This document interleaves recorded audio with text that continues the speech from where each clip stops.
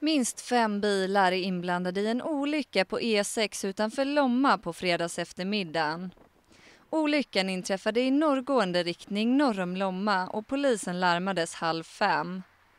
Enligt SOS ska alla personer vara ute från bilarna och ingen uppges ha skadats allvarligt.